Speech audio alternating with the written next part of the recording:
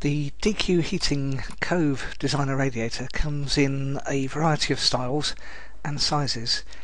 It's either single or double sided and you can either have a horizontal effect or a vertical one.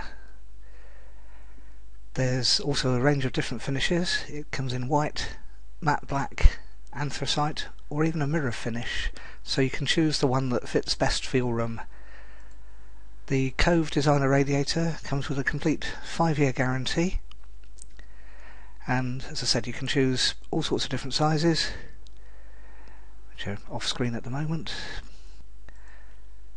So all sorts of different sizes um, from 550mm high right the way up to 1800mm high and different various different widths. So you can choose them the Cove radiator to fit any design you've got in your room and as you can see from the picture it's a very elegant modern design.